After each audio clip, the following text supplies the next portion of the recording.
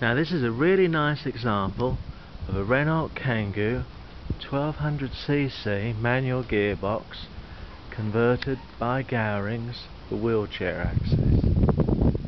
As you can see the floor in the middle of the car has been lowered. There's a lightweight ramp that comes down.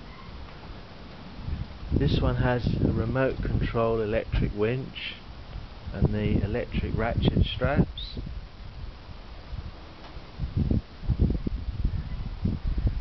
It's all in very nice condition. Sliding doors to the rear. Cost 13,000 pounds from Gowrings original invoice in the car. Service history to its present 13,000 miles Nice smooth little engine, 1200cc, power steering, remote central locking. So if you can imagine your wheelchair user in the wheelchair, put the straps on.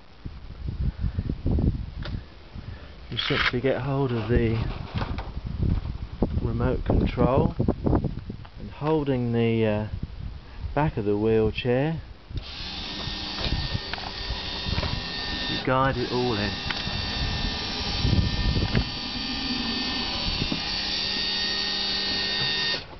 Like that.